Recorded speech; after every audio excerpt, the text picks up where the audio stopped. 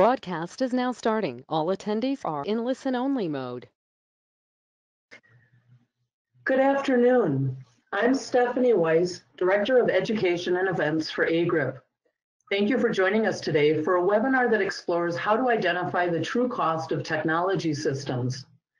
In today's program, we will understand how technology investments can support operations and member relations.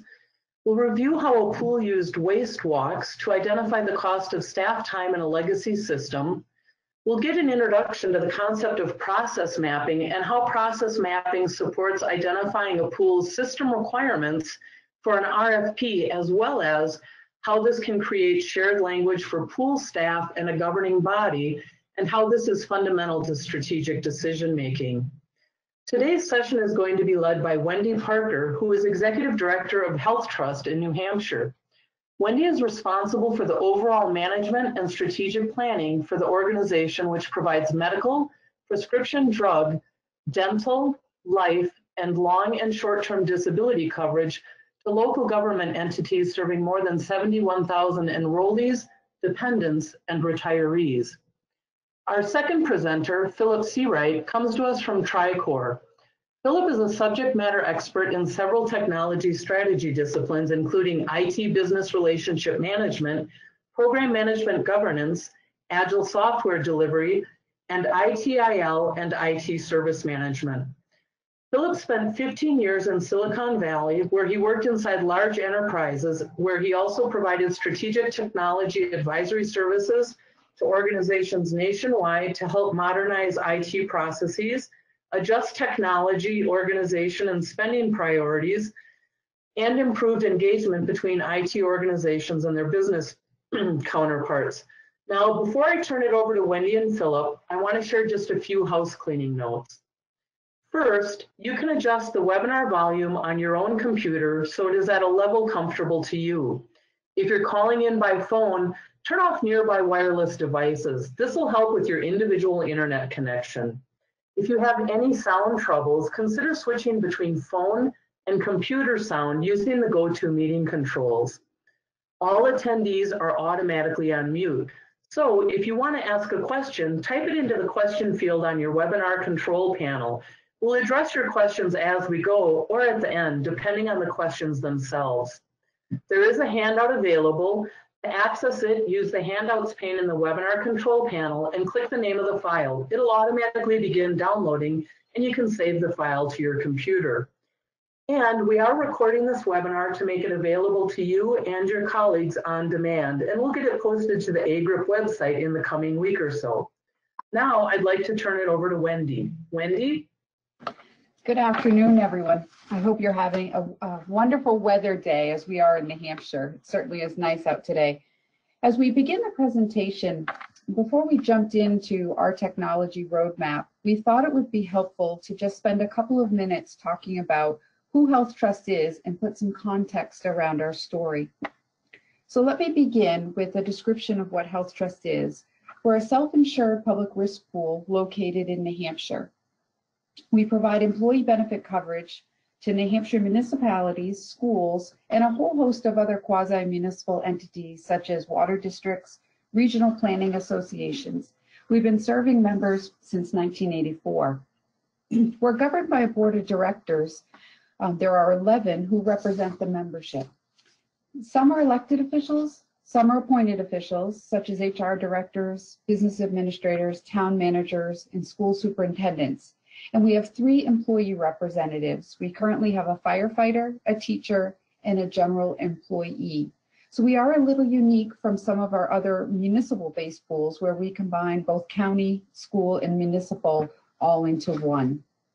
We certainly have a wide range of members. We cover about 350 member groups. We have two renewals, both January and July, and our group size varies significantly. We have groups of one and groups over a thousand.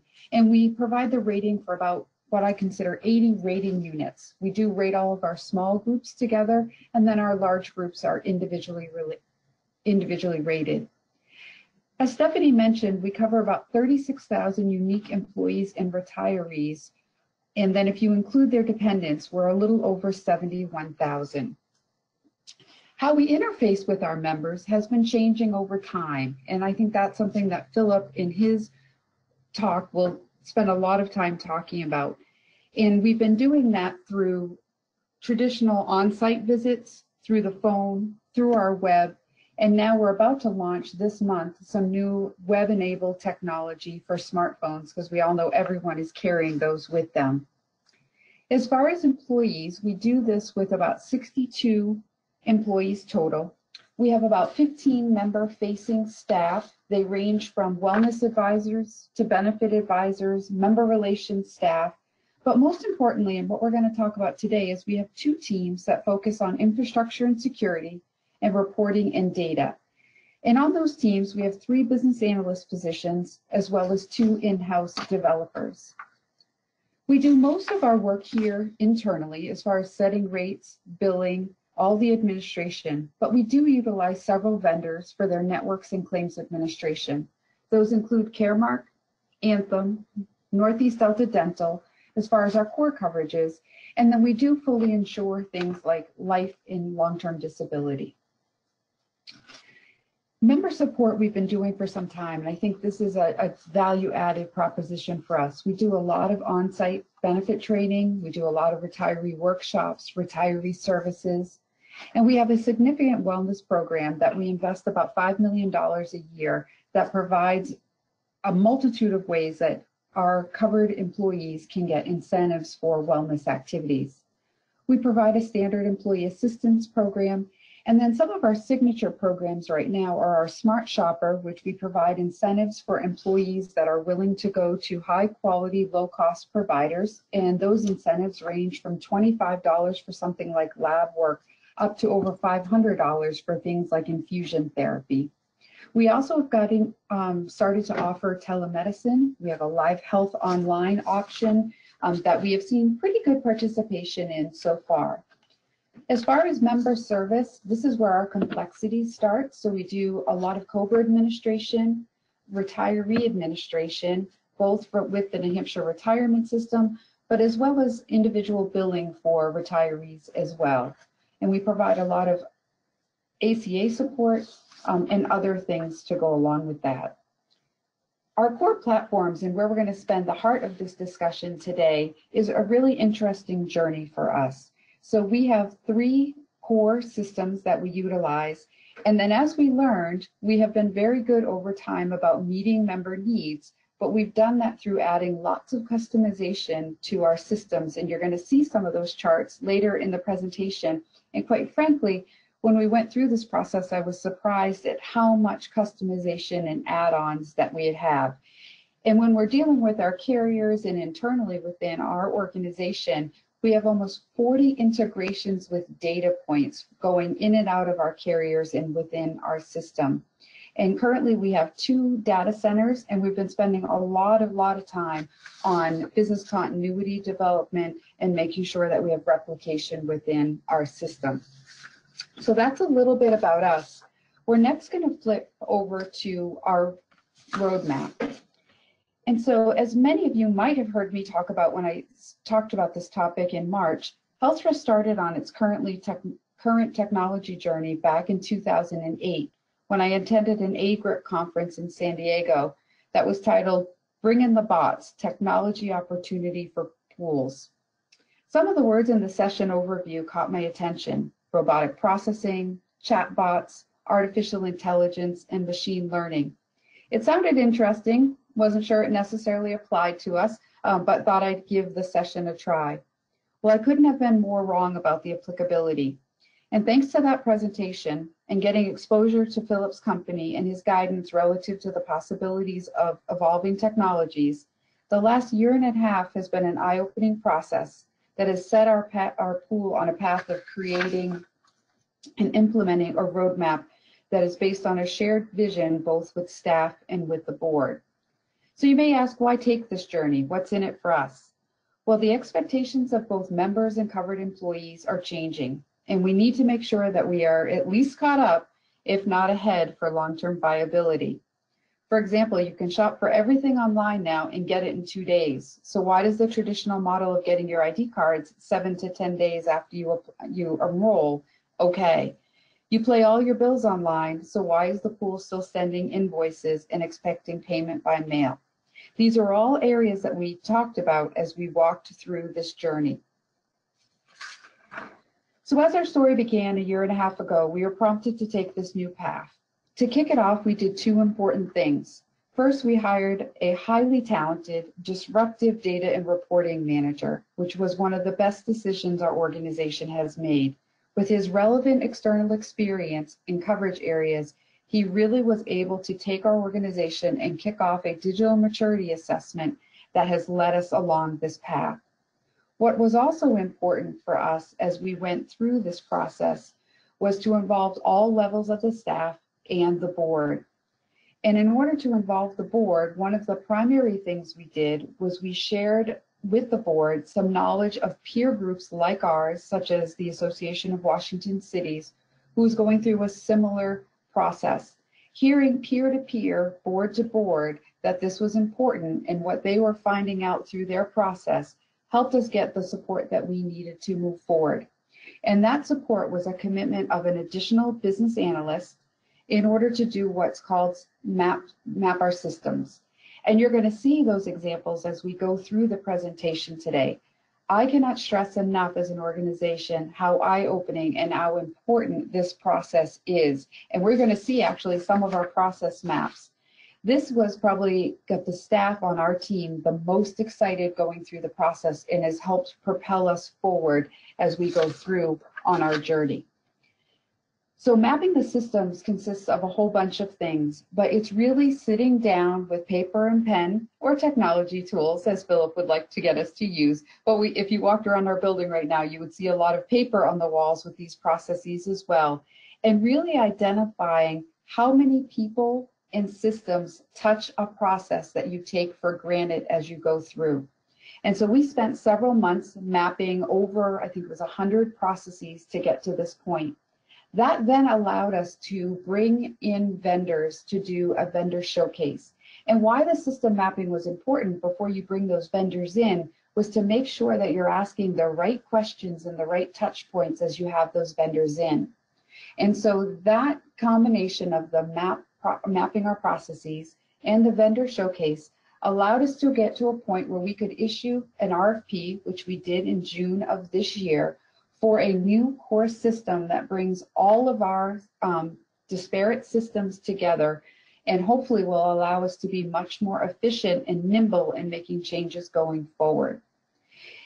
So right now we have issued that RFP, we have the responses back, and in October we're going through our due diligence, that's on-site demos, which again, that system mapping has allowed us to put specific scenarios together about how we want to see how these potential new systems operate and where we potentially, and this has been a huge conversation on our team, how we have to look at the world differently. If we hadn't gone through this process, RFP would have said, here, here's what we here's what we do today. How can you duplicate that? Instead, we are asking, we these are the things we need to accomplish. How can you help us do that in the most efficient, user-friendly manner possible? And so we're going through that process. After October with those um, processes, we will then be ready in December to go to our committee and recommend a new system for our organization that will hopefully add lots of new functionality to our processes. In addition, when I say functionality, it may be not be that you're actually looking for new services or new ways to do things, but I think it's redeploying your staff to do those things that really are of value to the members. And that's probably been our biggest learning curve through this process. So now I'm going to turn it over to Phillip, who's going to take what I've shared on a high level and really turn it into the core concepts and procedures that I believe are important as many of you contemplate going on this journey. Thank you, Wendy. Phillip? So Yes, thank you. One of the key takeaways that we'd like you to have is anytime there's a new wave of technology, it will typically change your processes. So in the past, we've heard several of our clients say you shouldn't automate a bad process, but kind of want to walk you back through why that's the case. And I was first taught this concept about 15 years ago. And someone said, you have this concept of paying your employees. And uh, over time, if you go back over a thousand years, we would barter to pay our employees. And then we had coinage. And ultimately, from coinage, we moved to paper. And there was a technology wave with each one of these. And then we had banks, and we probably had banks before that. But again, the introduction of banks made it easier to move this money around. And then check, uh, checks made it even easier to pay your employees. And now we have electronic funds transfer and even mobile. But I want you to think back just at a high level, how did that process change with each new wave of technology? You know, every time you introduce some new wave of technology, the process and the order of steps does change. And so anytime there's a new wave of technology coming out, your processes should probably change to really improve the productivity of your organization. It's not just that you get a lot of value out of seeing it, but most likely uh, the technology will enable something new. The other thing we want you to do is under uh, think about how would you measure the productivity of your organization, and we we look at this for several reasons. In some cases, our clients are looking to justify the cost of replacing a new system, but in other uh, situations, they need to shift uh, the funding model or to shift the way that they're paying. So I'm going to show you an example of a property and casualty pool, and we'll bounce back and forth between the property and casualty example and the health pool. So this particular pool uh, they had three departments, underwriting, claims, and finance. It was about a 45 person pool. And we mapped a total of almost 50 processes. And then we did something called a waste walk. A waste walk is looking at for every step in the process, what percent of those had waste in them. And so in this case, it was pretty staggering. Uh, this one, the underwriting department was pretty efficient because they had given the best requirements to the vendor.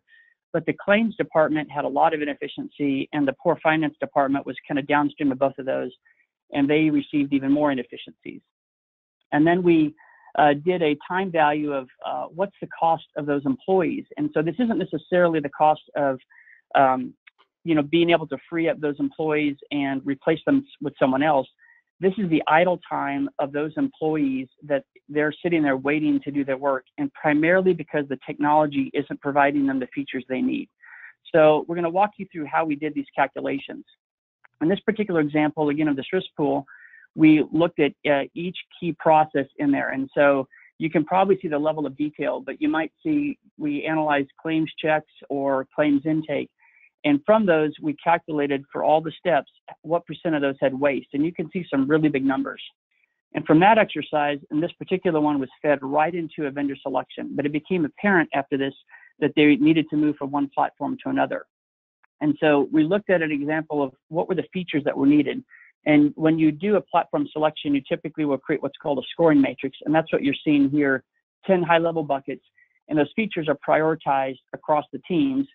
We also scored what the current state was. And so from their waste walks, they identified 150 must have requirements. And then today they found that the current vendor was only uh, was missing about 100 of them. So a huge gap that they didn't really have visibility into. They knew there were some pain points, but until they did this level of analysis, they didn't really understand how much pain there was. So let's look at the next level down. How do you go about measuring that? So there's really two lenses that we want you to, you know, to measure the productivity organization. It's really trying to understand what we call your, what your white collars uh, workers are doing. And those two lenses are around uh, resource utilization and around process efficiency. So again, resource utilization is how effective are each of your employees, and the other one is how fast are your process is your process throughput. And you actually care more about your process throughput than you do resource utilization. If you have everybody working at 90% utilization, that means you've got bottlenecks everywhere. You really only care about where those bottlenecks are for your processes. So from an organization standpoint, um, let's take a look at how you organize this. So think of it initially at a departmental level, and departments have processes. You have individuals within departments, but processes also have tasks or steps in there. And at the enterprise level, you have multiple departments, and you might have big connected processes. And we see this in pools all the time. If in the property casualty space, a connected process would be how does the policy flow to the claim, and how does that flow then on out to the billing, and how does all that work together? On the health pool side, very similar. You're getting claims from third parties, but you have all of these. Where it gets a little complex is okay, how efficient are you at each level and how effective are you? Because it gets a little hairy because the department, um, each enterprise has multiple departments, which has multiple individuals, processes are composed of multiple steps, and so it can get kind of hairy. And so you might wonder, why should you even do that? Why would you want to understand all of this complexity?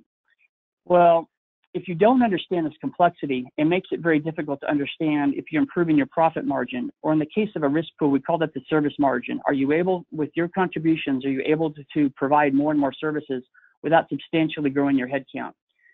And ultimately, is your technology working for you or against you? And in many of the cases where we see our clients, when they analyze the processes, they actually are able to see where technology is actually working against them. And it also helps you see what old ways of doing business no longer make sense. We find many processes that were in place because of either old workarounds or a risk that occurred that's been alleviated since then.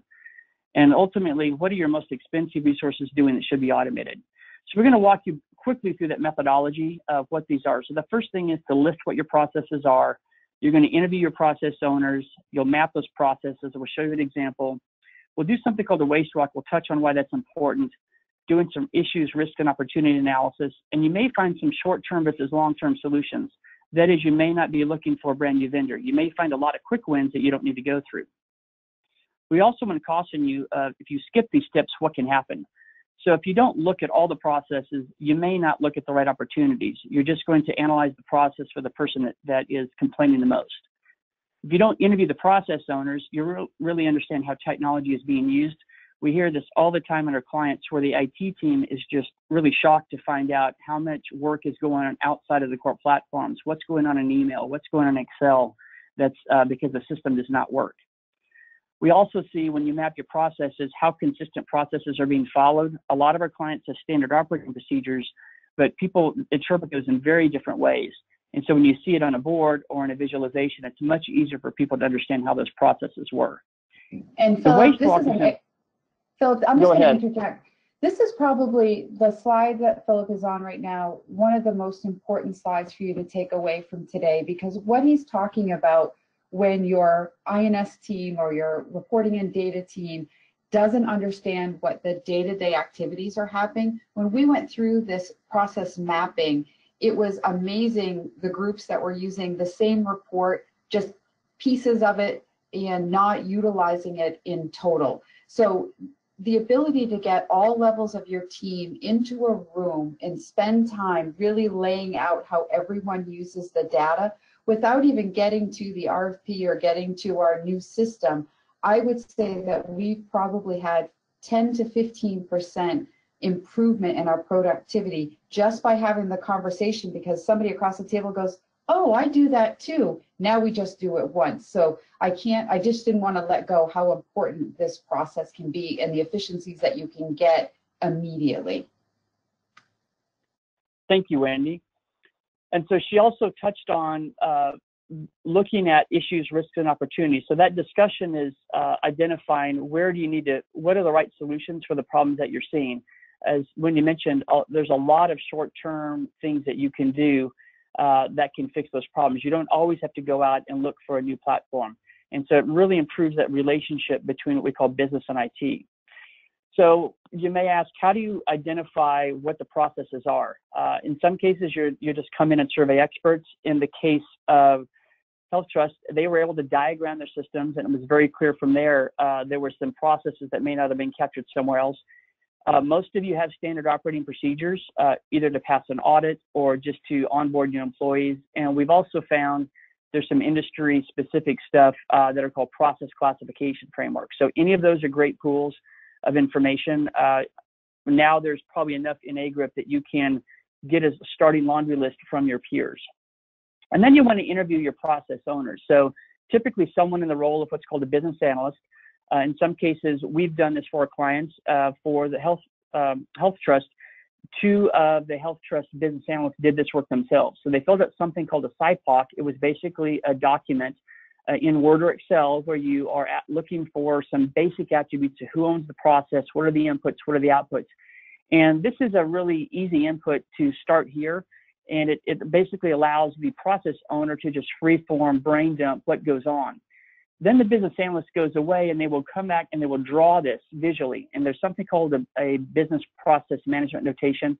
What's most important is being able to uh, draw it in these swim lanes. And swim lanes are different actors, so you can see where there are handoffs between teams.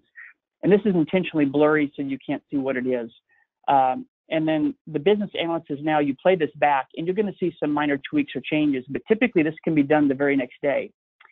Afterwards, we like to do what's called a waste walk. And the reason this waste walk is important is before this point, uh, the process owner really doesn't feel ownership of the process. They still feel that IT or the business analyst owns the process.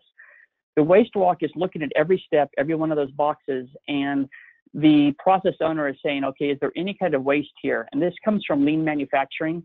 And so are there defects here? Am I moving something around? Is there duplicate? Am I over processing? And within just one or two steps, the business owner is able to identify these and they're able to envision new solutions in their head very quickly. So it's very beneficial to do this analysis, particularly to have the process owners. They now feel empowered to take ownership of the process going forward. And it's good to kind of pull all of that together and aggregate this. So one of our other clients did this work. Uh, they looked at all of the different types of waste and they added in another bucket, which is called non-compliance. So they had probably 20%, if not 30% of things they were doing were non-compliant for the industry they were in. And then they found out that of all of those areas of waste and noncompliance, half of those could have been utilized with their existing technology, but somebody turned it off in the past because they tried to automate the process uh, the way it was before rather than take advantage of the new technology. The other half required a substantially new platform or enhancements. And from there, you can determine what are your long-term enhancements or short-term enhancements. That makes it much easier to create a summary report like this that you can tell to the rest of your staff or your team what percent waste is there across those different areas. And so the example you're seeing here is for a property and casualty one. Wendy's team, uh, their business analyst created a similar one for how many processes was it again, Wendy, that you presented to your board? I think it was over 100 processes. 100 processes they mapped in about three months. It was very, very impressive. And then from there, it becomes apparent, do you, what, what do you need to do for your new um, system versus something you can do in the short term? So some of you may ask the question, you know, why were processes inefficient at Health HealthTrust? So I'm going to weave together several different artifacts that we discussed to explain that. So after they looked at all of the different process maps, and I'm just showing some examples for group or retiree, uh, some for what they call positive billing, and for some other ones, there were some key key uh, root causes. And so the root causes were the core platform that was selected over a decade ago was lacking features that were specific for HealthTrust. And again, this was what was best in breed at the time a decade ago. But that core platform at that time was really designed for uh, for traditional health insurance carriers. They really didn't understand the nuances and, and specifics of a pool. And we also see this on the property casualty side for some of the legacy platform providers. It also meant that core platform, they were built on an older technology and it was very difficult to modify the platform for health trust markets needs. And so you may ask, well, what caused that? What, what was the impact of that? Well, what happened was over the 10 years, because the risk pool and particularly Health Trust was very good at uh, designing workarounds, the IT team began to fill the gaps with a lot of custom solutions. So there were a lot of really cool, elegant solutions they built. Uh, but they also were adopted a good practice called agile, which was how do we make sure our IT team is properly utilized, that they always have a steady amount of work in their backlog. And so they kept prioritizing items that were able to do short term, but it kind of pushed off the we need to replace this new system or the analysis of what else is in the market today. And then it wasn't until uh, some discussions uh, in this networking events that what were the new platforms able to do? and it wasn't really apparent until the on-site demos. So let me just show you an example of this is the drawing that their team created. And so in that little box in the middle is called a core platform. All of these blue boxes around it are custom applications. The orange boxes are other common um, platforms that you need to provide. So you'll see the accounting system is there, your internal payroll. But again, those blue boxes, all of that their IT team had built to close the gaps to integrate to a wellness provider, uh, to do spe- a specific portal for uh, different types of members and enrollees. So there were a lot of gaps that they had to fill. And so over time, what they found was that there were just a lot of custom apps. But in the market today, there's at least two or three vendors that are providing the majority of these features, and these are out of the box today. But the business impact to HealthTrust was that there was a lot of manual reentry of information across these systems And every one of those arrows, not all of those were automated. Some of those were integrations, but some were people rekeying information. And so if there was a break in that integration, there was some manual exceptions. So not only do those arrows exist, a lot of times those arrows represent people that need to handle exceptions for a platform that's not tightly integrated. And what was really concerning, particularly to the board, was that there was a lot of data entry that could propagate and that would directly impact the members. So Wendy, is there anything else you'd like to add uh, to that? Any other conversations that the board have when you presented to them your findings and recommendations? Because you didn't show them all the analysis that you did, just the key stuff that was relevant for why you were shopping for a new platform. We did. And I think one of the conversations that is going to be continuing on as we go through this process is we didn't enter this process with the thought of we want to come out with less staff and be more efficient on the other end. We really want to be able to find ways to leverage the staff that we have in ways that they're not doing repetitive manual tasks that can be done automatically. Because with all of our organizations, and our, our pool's no different, our members keep wanting new services. You know, we used to get all calls, now we get calls and emails. Soon we want secure text messaging. That all takes resources to manage and handle. And as we add new programs, we want to be able to leverage and not do manually those things that have been done. But I think that's a delicate conversation when you have an elected board who's spending public dollars to enhance a system that could be expensive to be able to get them to see that you may have the same amount of staff at the same time to allow that future growth. All right. So I'm going to transition to explaining why are these modern vendors able to provide all of this functionality. And so I want to kind of compare and contrast uh, what's uh, unique about these new what are called cloud first software providers. So over time, um, there are features that are released by the vendors, and that's they're trying to determine what's the market going to want feature-wise when we had on-premise software, and this has been the case since uh, the 80s, I would say the early 80s, uh, one vendor, vendors typically do what's called a three-year release cycle. With Cloud First, there's really one single code base, and most of these vendors are designed around releasing features every six weeks. So just by uh, sheer velocity, those there will be a feature gap that the one that's able to launch features every six weeks is much more able to quickly get them to the market, find out what reflects demand. So I want to show you what goes on behind the scenes, particularly with an IT department, and what goes on between the vendor and a traditional IT department uh, for an on-premise. So in an on-premise one, uh, you have a product team that is, uh, they launched their old version. So the product team is now designing their new one. It takes about nine months or so. That design is locked in. And then it takes them about a year or so to design all those features and they build it and they test it. And then they launch it and after a three year window. Well, from the customer perspective, they're going to regression test that. Well, the reason they regression tested it is because they had access to the code in their environment. They made a lot of customizations and workarounds. And so they never take that first release. They wait for patches because you've customized it. And so then the vendor has customized it and you don't really launch that feature until sometimes, and we see this typically four years later. Whatever you finally launched four years later was on the drawing board uh, four years ago. So over time, this uh, causes a big gap. And so the idea is even if vendor one is really entrenched in the market, they may have a lot of features in front of that cloud provider, but that cloud provider is able to catch up and overtake them very, very quickly. We've seen that in almost every industry that we've seen, whether it's in the health pools or it's in um, the risk pools or even in traditional insurance providers. Uh, the traditional insurance companies are struggling even more so because they don't really have a key cloud player in their space for those really big players. So you get that gap that the cloud vendor, because they only have one single code base, they're going to launch the same features months to years faster, but they're also going to launch new features months to year faster. So I just want you to understand mechanically behind the scenes, this is a major, major shift. And that's why uh, the vendors that are cloud first are able to provide the bulk of those uh, blue boxes that we showed you at Health Plan and they can quickly roll out new features in just a few months.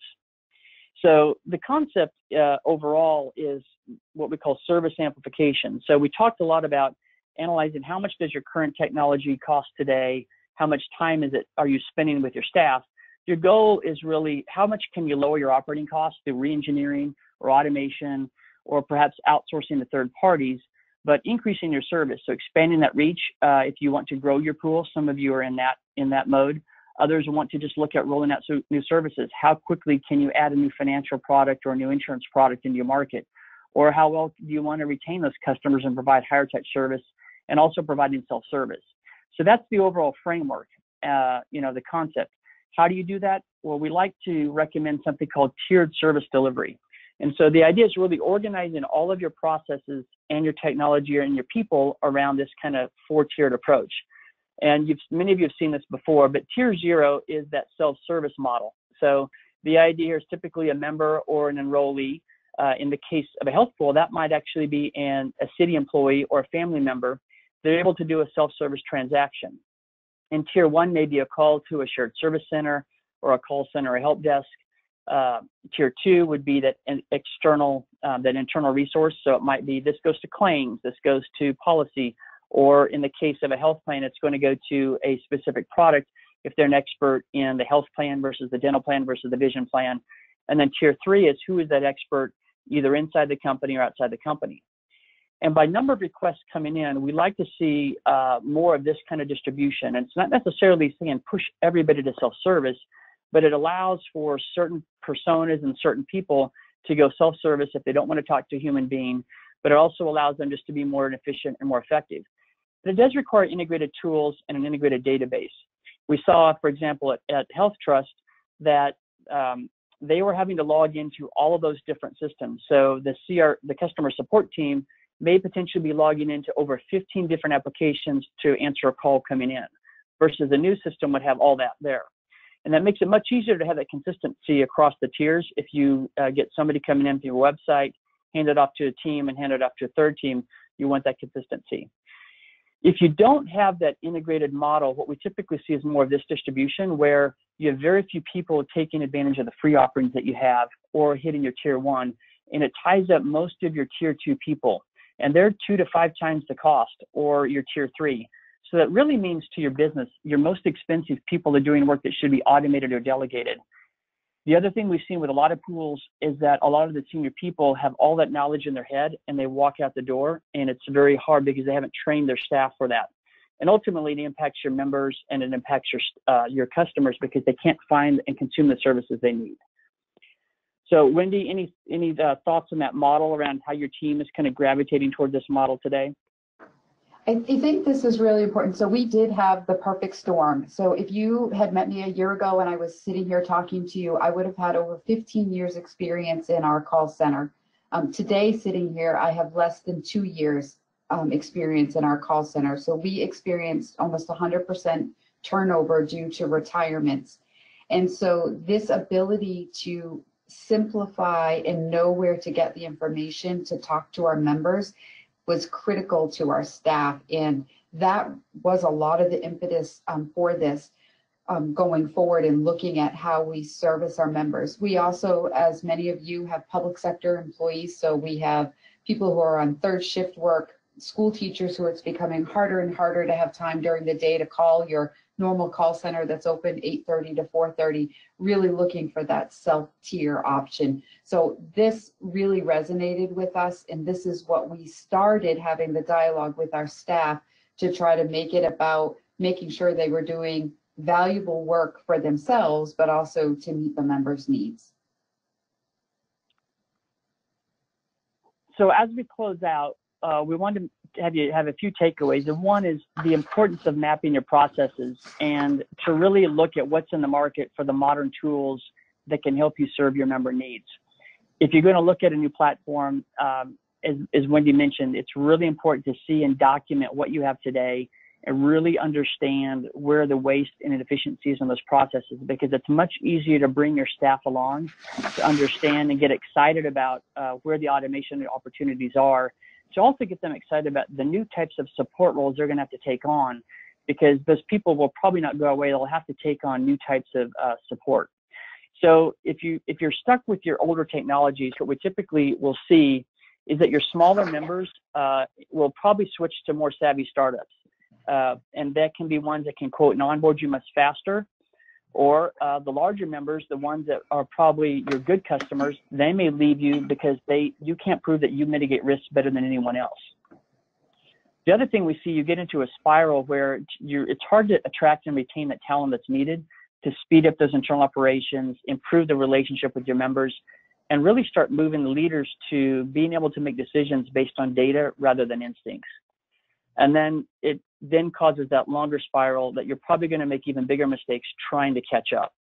So we have about four minutes left here for uh, questions uh, that we could open up. Uh, but if you do have any questions that you're afraid to ask in front of the larger audience, feel free to email or phone Wendy or myself with any of those questions.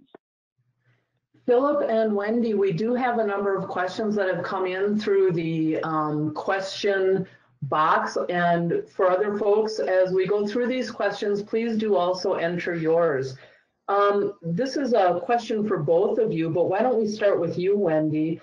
Can you, you guys both talked early on about the waste walks, and can you talk a little bit more, Wendy, from your pool's perspective about some of the explicit points of waste that you found? And then Phillip, if you talk about that a little bit more generally, in the terms of all types of pools. So what specific sort of items of waste did um, Wendy's pool identify and what do you see generally as some of those explicit um, points of waste? Sure. And, you know, for me as a pool administrator, um, when we talk about waste or inefficiencies, boy, I still, the hair on my arm stands up when we use that because it's not that staff was doing something wrong or we weren't, you know, being a, trying to be efficient, but we just got in our own way. So some of those examples for me is that we um, would put out on our website a form, a PDF fillable form that you could fill out. So as a member, they felt like they were doing an online application or an address change form. But what would actually happen is it would come into our offices, we would print it out, someone would sit and key that into the system. And so that's waste in the system. So you think you're taking the next step in, in, in improving your processes, but now we've been able to put a different lens on and see, no, we need to be able to fill it in a form that then can use some automated technologies and put it right into our processes system. So someone's not then keying that information. That's one example. Another example is where we would uh, we run what's called pre-EDI reports. So before we send over our 834 files, we run a bunch of reports. And each of those reports has to be opened to see if there's errors on them versus adding some technology around that process, at least initially, that will allow us just a dashboard that says, out of the 50 reports you ran, here's the three that have errors, go look at those. Now that's the interim step. In our full solution, we hope that you can't actually key into the system with an error, that it stops you at the point of entry and we stop running pre-EDI reports altogether. So those are a couple examples. And I'll weigh in. One of the common areas of waste that we see is anytime you have a repeatable Excel document that somebody's going in and touching an Excel document every day, week, month, or year because they're probably pulling information to run a report to present it to someone else, or they're pulling data out to do some analysis, or in the worst case, they're using Excel to manage a work queue to know these are the items I need to work off of. That's your biggest sign that there's a lot of waste going on because your system isn't doing what it needs to do. What's a little harder to do is to really track all of your emails in and out that have attachments, or the email coming in causes a person inside to look up something and then send it back through a different channel. And so a lot of it's hard for a lot of our pools to really get visibility into that unless they have a good good call center and good call tracking where they're putting those kind of call notes though. Uh, but those are the typical hunting ground that we see is that your you, Excel is one of the biggest workarounds, and I would say Outlook is your second biggest workaround where you see a lot of waste, where you're moving stuff around or reproducing something. And then I guess the last one is rekeying. We call it key whacking, where you're taking information from one to another and a person is retyping it in or copying and pasting it. And again, that's really only found in a waste walk or observing that. And that, that may come out in some of the early drawings, but it's really when you do the waste walk, the customer, um, I'm sorry, that the process owner will explain back to you and understand how uh, inefficient that is and that there's other ways to do things. What's another question, Stephanie? Yep, so um, another question is building off the waste walk, and we actually have um, several questions in the queue, and I want to make sure we get to them, and we can go up until um, the top of the hour. But the next question really builds off that waste walk, and Wendy, this is more um, for you. You had talked a little bit about the idea of going through the waste walk and how one of the goals is to um, raise the level of work the employees are doing to better serve your members. And the attendee was wondering, what was it like to get your employees on board to overcome, you know, how did you overcome any concerns that their jobs were going to be eliminated? And what is their job satisfaction like now? And also, what have you been hearing back from your members since you've been starting these processes? That's a great question. So the conversations with staff were very interesting because I think there was a lot of hesitation at first on their part about what does this mean? Are we going to put ourselves out of a job? If I really say how long it takes me to do that, what's going to happen? And then what we did is we found a couple of champions within our operations team that got really excited about it and took a couple processes and started putting it out. And literally, if you walked around our building now, it looks like wallpaper everywhere on the building. And so my my key point to you would be find a couple of champions that can then raise that comfort level within the team that this is okay because if we do this, look, we're going to get this new shiny technology over here. We're going to be able to offer this service and be more effective. So it was finding that champion. But I'll be honest that we've gone up and down in that process. So it's not all roses. Um, and so you do have to have a lot of individual conversations with team members. We're doing a lot more reporting on um, metrics now. How many pieces of paperwork did you key?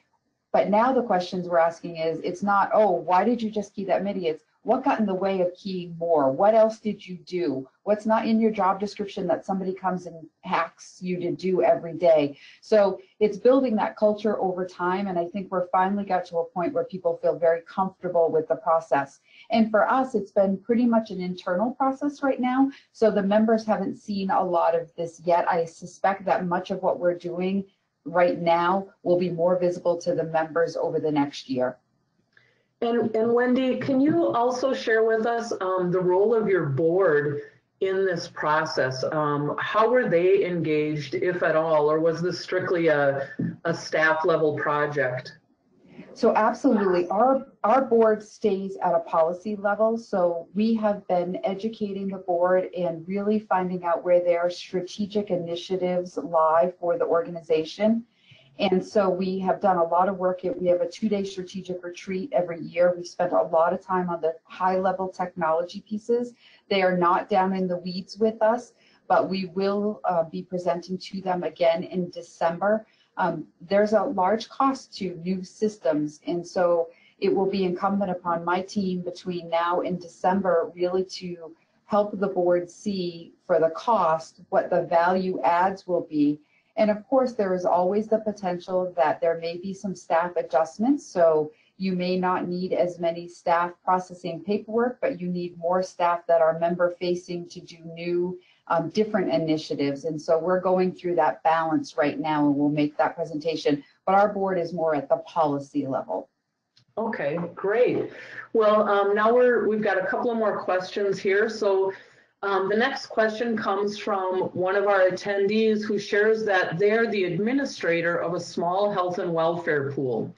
They have seven members that are public employers and they um, provide services to 1,500 employees and a total of 4,700 covered individuals.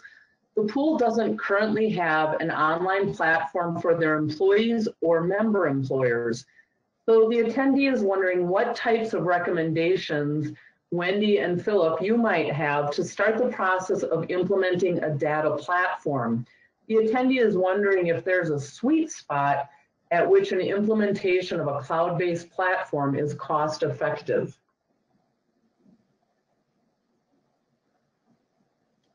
I can speak to yeah, that. So, yeah, one of the one aspect of uh, it being cost effective, and I think this is this was a challenge I would say for for HealthTrust and others the model, the financial model before was uh, you spend money on an on-premise vendor, you're paying that particular vendor certain amount of money every year.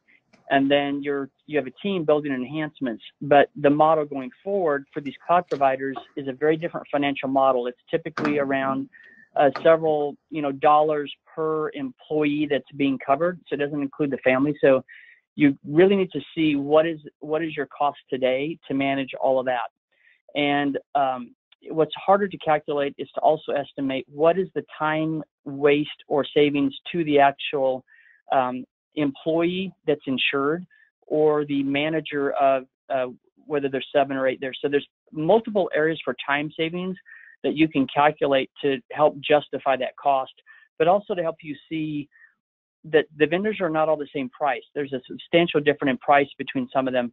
And so you want to know, is it worth that extra cost or not? So there's multiple areas, what I call hunting ground for looking for that cost justification for doing that. But the cloud providers are designed to scale in a way to go down fairly small because they try to bait, price it based on how many uh, employees you have versus you need a minimum price to step in and play the game. Um, the next question, and um, I, I just asked the questioner for a little bit more context, but you guys might be able to work through this one. Um, the attendee is asking how you selected your knowledge sharing peer. And I flipping through the slide deck to find the reference to that and haven't succeeded. So I'm wondering if you can provide any insight on that question. Sure. Uh, so it comes from, I've been with our organization for 30 years. So when I first came on to our organization, I was looking for peers around the country that had similar um, organizational structures as us. And at the time, for me, it was two pools that are in the western part of the state. So Association of Washington Cities and the Oregon pool had similar. But for people that are listening in the audience or participating in the webinar, I think the most important thing you can do is attend the trainings through AGRIP and other associations of organizations like us throughout the country, because that's really where I develop those relationships and you start to understand what strategies they're employing, what their boards are like. And those conversations over my tenure here have been the most important thing to figuring out what we should be looking at, how are other people doing things, and avoiding, quite frankly, the pitfalls that the person who went first did, you can learn from them. So those relationships and um, utilizing groups like AGRIP to get that support system. And I would just add, I would highly encourage you to spend not just like an hour or two at an AGRIP conference, but build a network, build a relationship there, and then invite them to come to a good location at a good time of year and spend a day where you can just uh, pump, you know, pull as much information as you can out of them. So it was at a very picturesque location in New Hampshire where they had this in the summertime. It was a great time and location, and so there was probably a bit of um, bribery there to to get them to come across the country. But that one day is very valuable where you don't have any distractions from work and you can share all of your best practices. So you know, build those relationships at AGRIP and find those people that are willing to share their their um, pains and lessons learned with you. So we've got a couple more minutes for a couple more questions, and one more has come in, Wendy and Phillip, since um, posing the last one.